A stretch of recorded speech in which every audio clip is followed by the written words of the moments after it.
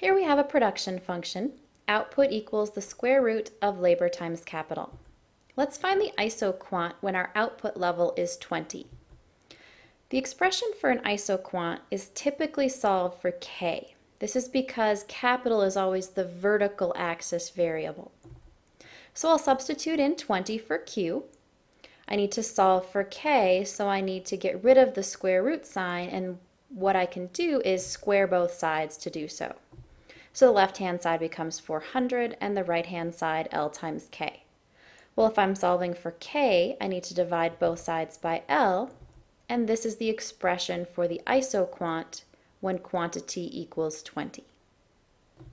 We'll do the same thing, but now let's find the general expression for this production function's isoquants, meaning I won't substitute in any number for quantity, I'm just going to leave it as Q. To solve for k, I need to square both sides.